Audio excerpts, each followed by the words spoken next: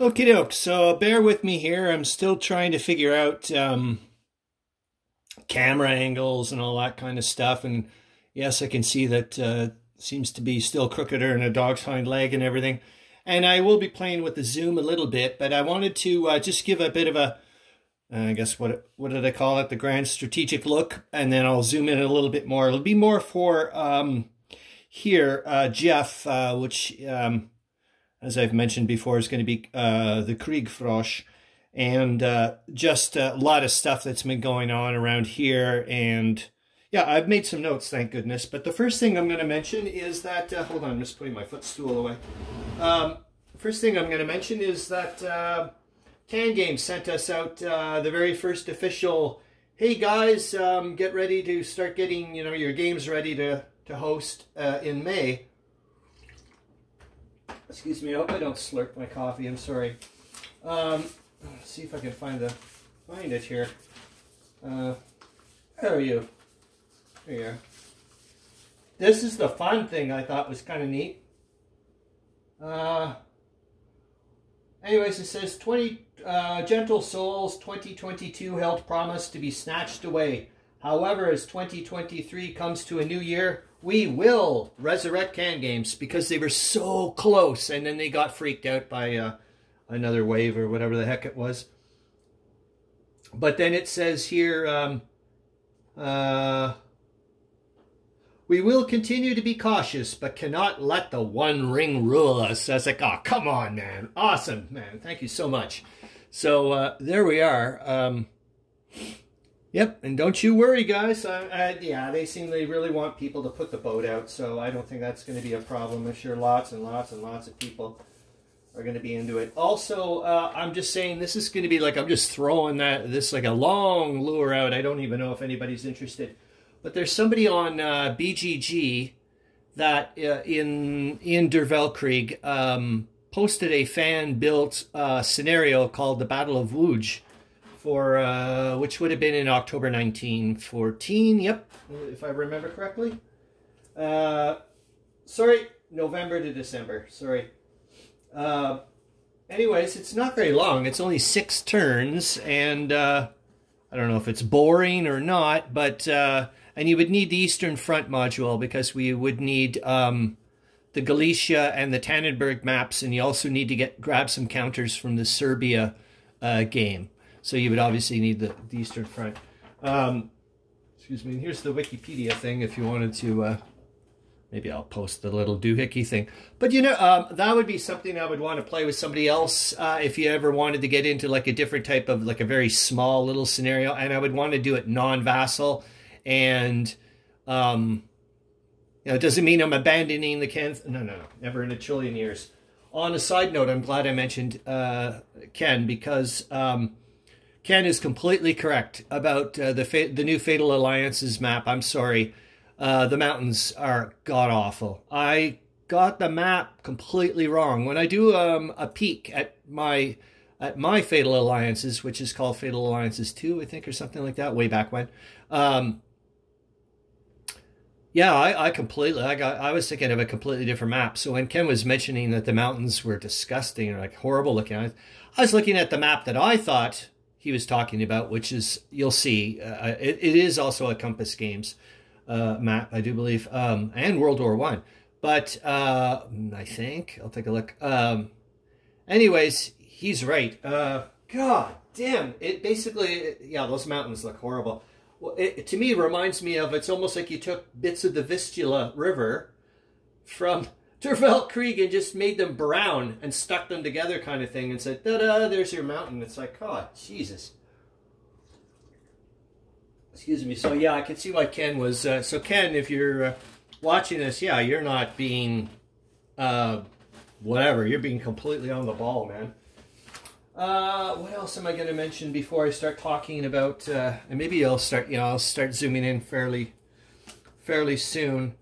Uh, I have to remember that the primary focus is to get to Mount Doom over here. Uh, uh, hold on, I got my footstool and bring it, maybe just zoom it in because we don't need so much, uh, don't need the big on thing. But I do want to make sure that I make, uh, I have this bit here, this battle, that I saw. It's just an opportunistic battle. Uh, the reason being is,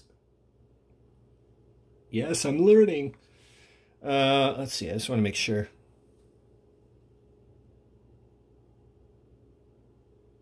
Okay, let's stop there. Yeah, that's, I think, good enough. Um, I hope. I'll find out later. Um, yeah, this was an opportunistic battle. So when I was looking here to figure out how to get um, the various components of the uh, German Expeditionary Force, yeah, part of, part of you may think, what the hell are you doing this? You could be, you know, there's a gazillion troops over here. You could be bringing them to, you know, to turn into the Kriegfrosch. Yeah, but that would kill the narrative, so, so that's not happening.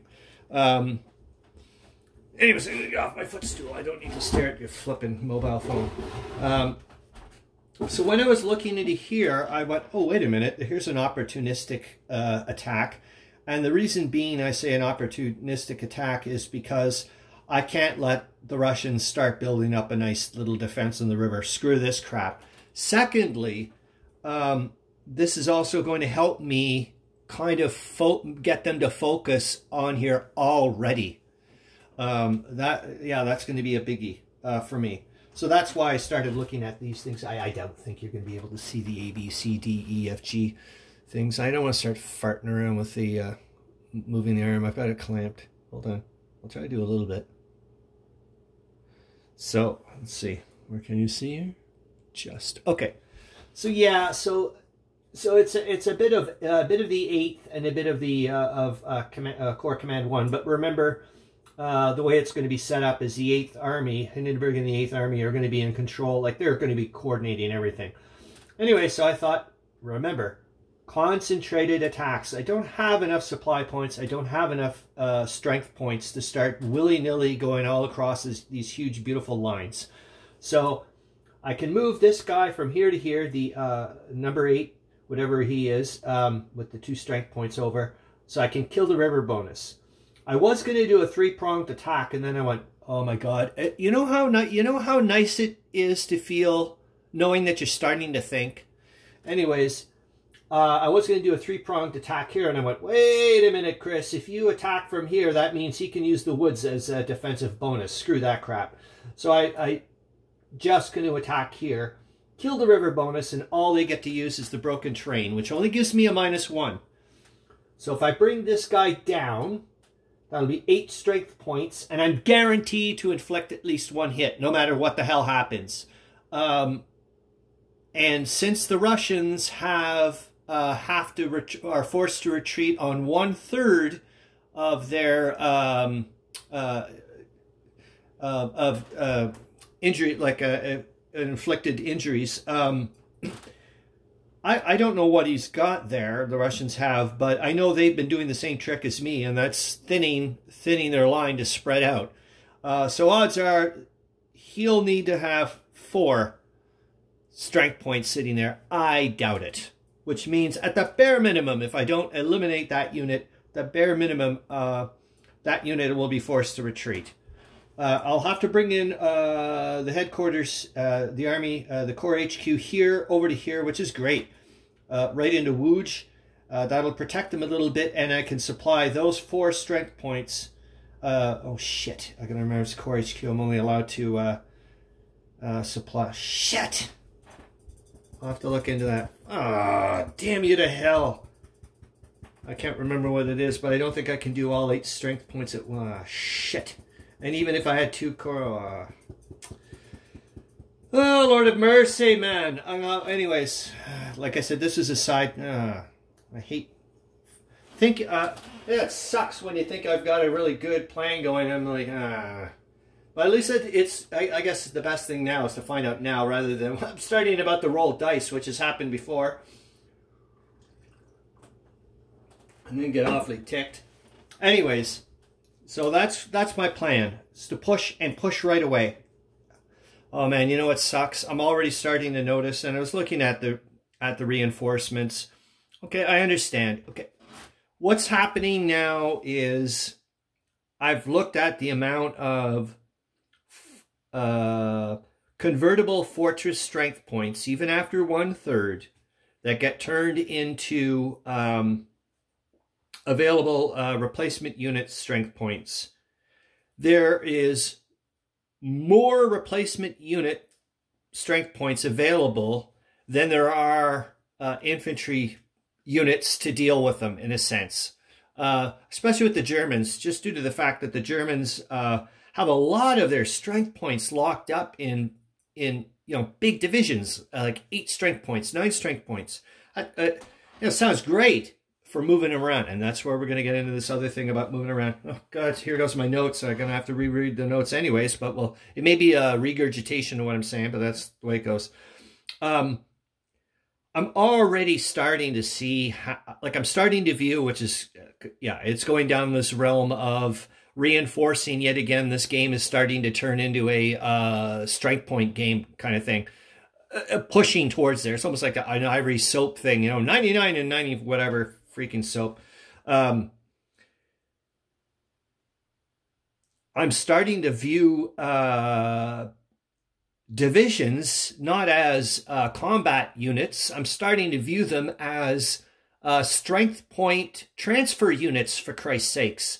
Because uh, with the, uh, you know, the way you can do some crazy stuff with recombination and divisional breakdown, um, that that's the way I'm starting to see things, especially when you start looking at the fact that uh, some of the German units such as uh, number 20 and number 15 here, the 49th and the 50th Reserve Infantry Divisions, um, they, um, oh, wicked, of course. Yeah, I was looking in the wrong place. Oh my God, I'm so focused. I've been so focused on divisional breakdowns with the Russians over all this time that I, I need to, well, you'll see in a minute, but I need to it, in the end, when we get to the Kriegfrosch in the, the launching spot over here, um, I'm not going to need two divisions. I just need, effectively, I only even really need one regiment. I don't want them in combat. If they start getting into combat, it's over. Uh, this is column movement, straight up. There you go. Boink. Done. Everybody else is to push everybody away. Uh, like free reign. All you, you know, in you go. Um, so I don't need supply points and I don't need a big whatevers. So I was like, okay, you need to start break when you get there. You're gonna like I've been timing everything here. Uh, trying to break up. I'm gonna have to break up number 20 and number 15, which are the 49th and the 50th Reserve Infantry divisions. And I've been so focused on Russians. I've been looking up on Wikipedia and I can't find them. I'm like, what the hell? It's driving me up the tree. And I'm like, oh my God, now it just dawned on me. Thank God I did the video. I'm like, well, it's the wrong, it's the wrong side, you retard. But anyways. So I'm just having some tea, uh, coffee. Third cup, Jesus H, and I haven't even gone to my second sleep yet. Holy F. Anyways, so these arrows are showing me, and yeah, I've got the counters going up to show me where uh, the spots are, are going to be, but I've got them written down. We'll go over them in a minute.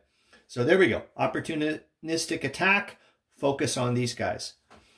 But I'm sending this guy away, which means I'm now starting to weaken this position. And I'm a little worried that the Russians may start uh, potentially doing a counteroffensive. I don't know. Because there seems to be a, well, there is. There's a, a new sheriff in town, and that's uh, Nikolai Protopopov. Like, uh, because uh, um, uh, uh, what's what's his face? Samsonov is toast is gone. Been uh, sent back to uh, doom. oh, good lord. Anyway, so um, I'm, I'm worried here. So what originally what I wanted to do is send the 49th and the 50th uh, Reserve Infantry Infantry Divisions, number 20 and 15, uh, this way, toward getting towards rail as quickly as possible, and then off we go. But what I think I'm going to do is put them here. Yes, I know it's it's Russian rail. It's not my rail, but I'm just putting them there, and then we're going to go that way. And they both have five movement, man. Yes.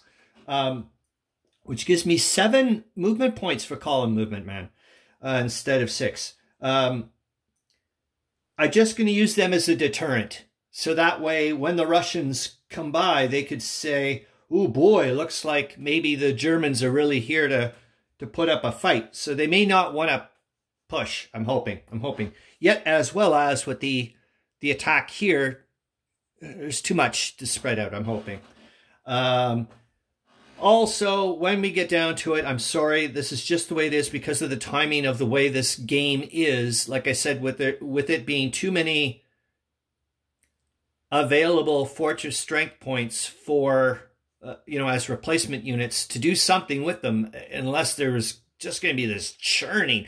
There's just not enough time for this scenario. You're going to run out of turns. Um, you you would have to, uh, as far as I'm concerned, I would have to start getting into divisional breakdown like there's no tomorrow. Every single time though lately that I start looking at, oh, I've got to pop up more Corps HQs, I just get this vision of Ken way off in Hong Kong, just frowning, going, oh god, another Corps HQ. Um, but it's like, man, I gotta I gotta do what I gotta do here. So, uh, anyways, I, I'm starting to time how, like I said, how. Um, the comp oh yeah and i'm also gonna like you can there's no more need for the um is that the 17th engineering regiment hold on i think so hold on yep it's the 17th infantry uh, uh, engineering regiment um, they're uh, now going to be reassigned to 8th army excuse me, and like I said, they're going to start converting the rail from Łódź, um, well, obviously down all the way from here, and then go down there and eventually meet up to Checheva. Remember I was saying, oh, sorry, you can't. Here, I'll go back out a bit. Uh, hold on. I'm trying. Um, yeah, to Checheva here and then meet up with the Austrian engineers. That's going to take a long time. And yes, I know this scenario would be over with long, long, long ago. But I've, you know, that's the other part of the narrative that I'm just going to play the way it is, kind of thing. So, okay, let's get to the notes and see what happens, and I'll go back to a little bit better of a shot. I hope. Okay, where are we here? So still got the combat. Yep, I think that, that I think that's a good one. Can you see? Can you see Mount Doom? Goody. All right, so here we go with my notes, and I'll just blah, blah, blah away, and then we'll, uh, whatever. Oh, yeah, and then I've also did a list of magic numbers. Uh, uh, oh, maybe we'll go into the magic numbers first. And I'm sure I've missed a lot of things for the magic numbers, but um, maybe it'll help, help out things. So eight is the number of turns remaining for the central powers to get this done for the exam. Well, it's the scenario and the exam. Uh, 12 is the German rail capacity. And man, is that going to get chewed up quick. Now, what the heck does um, 12 divisions mean? Uh, it means, um, I'm sorry if this isn't working right, uh, 10 supply points equals one division. HQs and Corps HQs up to and including 10 supply points equals one division. Engineers equal one division. Brigades equal one division. Regiments equal one division under strength units equal one division. So that's, you know, like holy moly, man. Uh, in other words, your rail capacity gets chewed up real quick. Um, one tenth movement point. The movement rate for rail for the following units infantry combat units, replacement units, Corps HQs. That's a biggie. Supply point markers. Another biggie. One sixth movement point. The movement rate for uh, for rail for the following units Army HQs, cavalry, artillery, engineers. Uh, one, it costs one movement point to entrain, costs one movement point to enter an enemy zone of control. It costs one movement point to leave an enemy zone of control. Sorry if I'm sounding like a, a teacher or whatever, it's just the way I talk. It will take one turn to get all four cavalry divisions arriving as reinforcements on the 02 November turn at hex 0118 to get to the launching point towards occupying Bialystok or something. So 0118 is over here. You can see it. Hold on. I'll do that crazy funky thing again. Hold on. Oops. Jesus Murphy. So 0118 is right over here. And uh, uh, we got to get over to here. And we can do it in one turn because it's... Um, Yes, it's one sixth um, their movement rate, but cavalry move at six. So you're there. You're there, man. Trust me. Which I think is kind of a strange wrinkle, but such is life, eh? And where am I here now again? I screwed you over. Mm. Still see Mount Doom. Yeah, let's go with that. I like. It seems like it's uh, pretty darn good. Uh, one. We still got some more ones here. Uh, it will take one turn to get the cavalry to occupy Biel Bialystok from the launching point. So from there to get to there to at least it will. I can get them to there using column movement. Boink, done.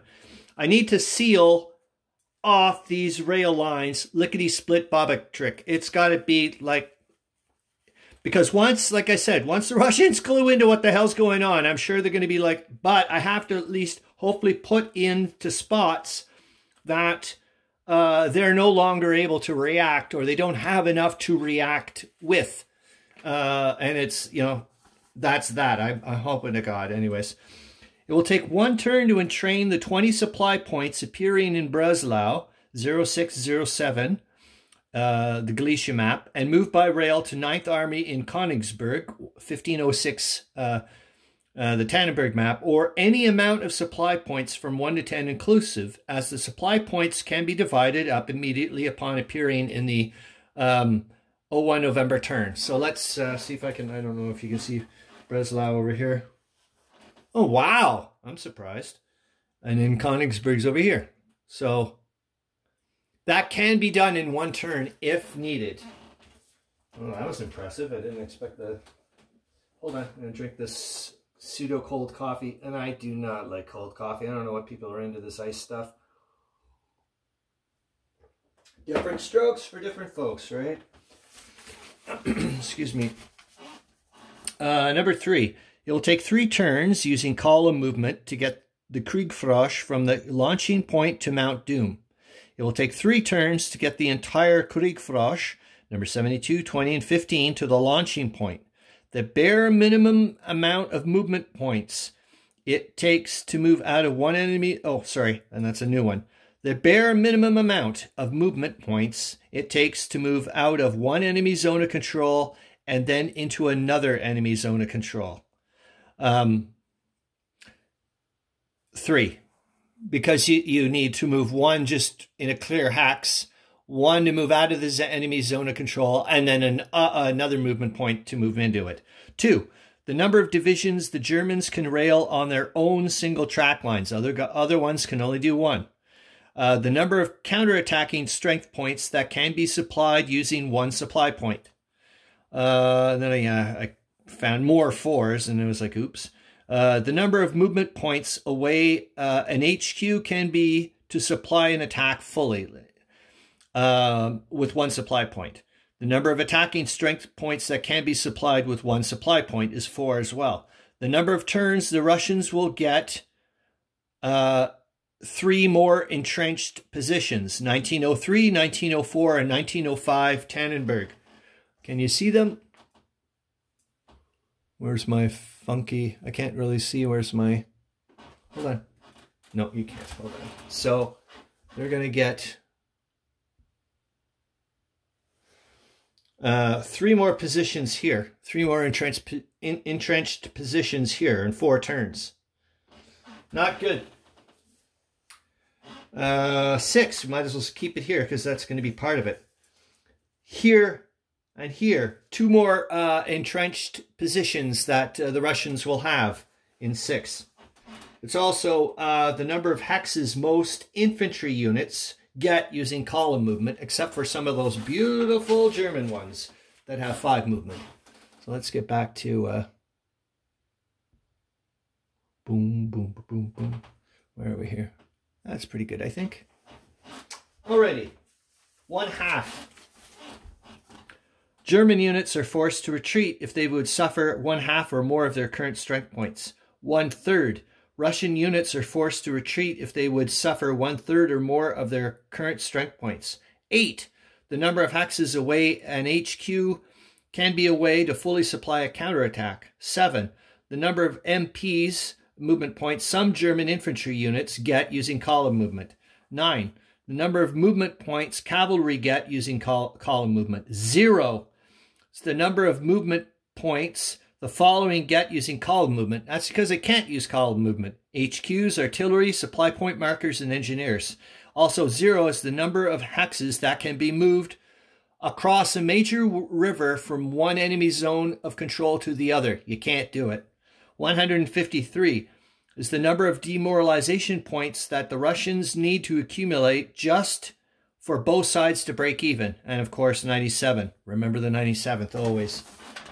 Uh, what other no notes do I have before I go off into Wonderland? Um, I have to remember that the primary focus is getting to Mount Doom, which means that all I should be concerned with is getting to the Kriegfrosch to the jumping off point, hex 2309. Uh, no later than 04 November turn.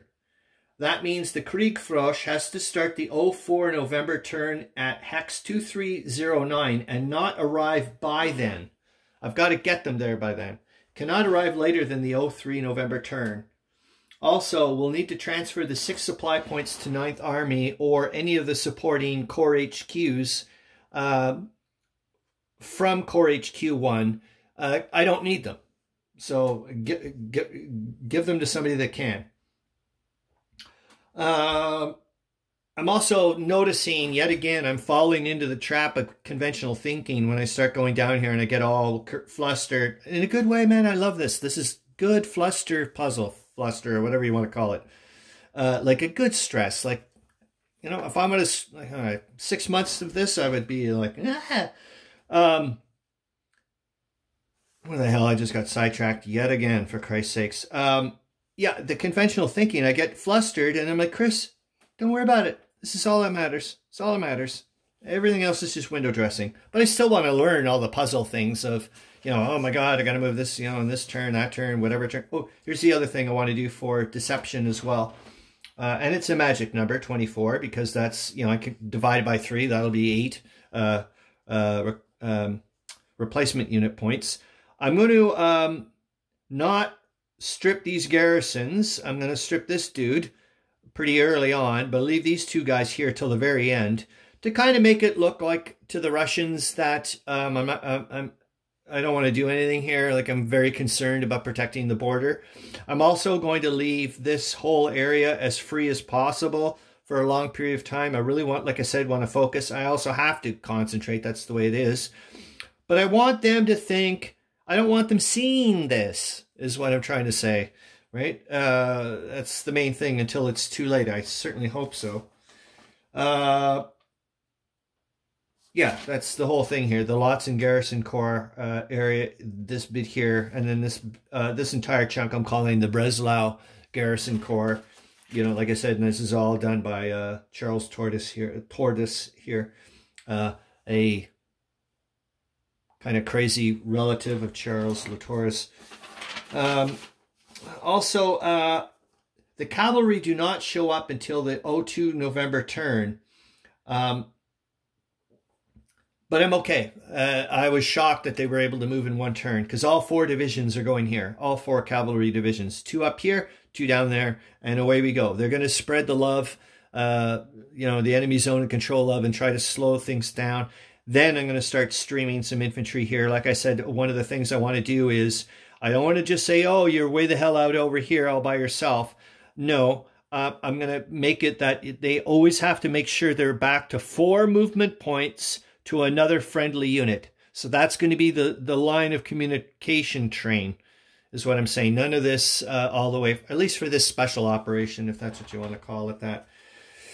Uh, yeah, and like I said, I don't want to, I'm not, I want to keep this nice and quiet here. Um, I want to just pretend that this area uh, you know, I'm just using the lakes and the fortresses and the river um, as a, um, you know, no, no, no, we're, nothing's happening here. Russia, we're, we're, we're wonderful. Uh, I think that's it, really. Uh, it was probably a hell of a lot longer than I expected. Oh, well. Um, I say, no, well, God, I sound like a flippant piece of shit. Um, yeah, uh, hope you guys are doing well, and um, hopefully this makes a little bit of sense. And uh, you know, things are clicking. Uh, I was amazed that I thought I was going to already do a combat uh, right off the bat, but uh, what a bummer that uh, there's just not going to be a lot of strength points um, available. Um, but like I said, I got to stop thinking about the conventional thinking bit and just go, um, no, no, no. This is it. Uh, and I'd still, I, you know, I like I said, I don't think in the long run when I get we start calculating the demoralization points at the end, I still think the Russians are probably going to win. But uh, I think, like I said, in the longer ramifications of it, what would have happened if, excuse me, if um, you know, if the Stavka had take uh, fallen and Brusilov, uh, here, let's go back out you know, what would have happened if Brusilov over here had to surrender? I mean, there would be no Brusilov offensive. And, you know, on and on and on and on. There's so many things that would have just, uh, you just don't know. Um, and I love that. I just love it. Um, okay, no, that's it. Jeepers jumping.